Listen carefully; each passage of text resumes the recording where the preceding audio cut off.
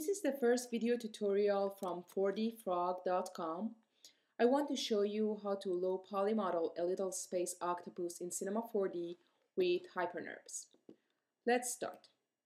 I'm going to create a sphere,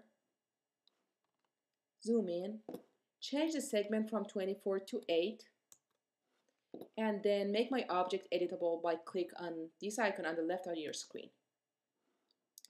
Okay, now I'm going to go ahead and make a selection with polygons here. And then by pressing UL, it's a hotkey for make a selection for loops. Okay, right click and do matrix extrude.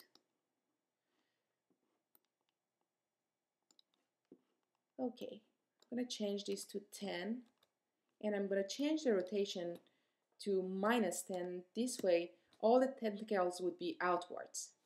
Enter. Okay.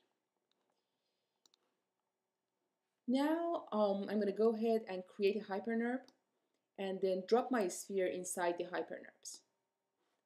See, it's already a little octopus.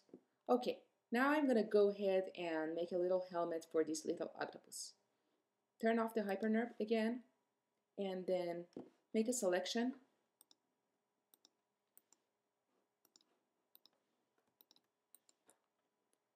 extrude inner, extrude, extrude inner, and then extrude. Okay, now I'm going to turn on the HyperNURBS again. Let's see what's going to happen.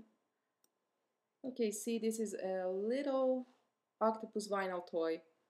Thank you, and again, this video brought to you by um, 4dfrog.com and have a beautiful day. Goodbye.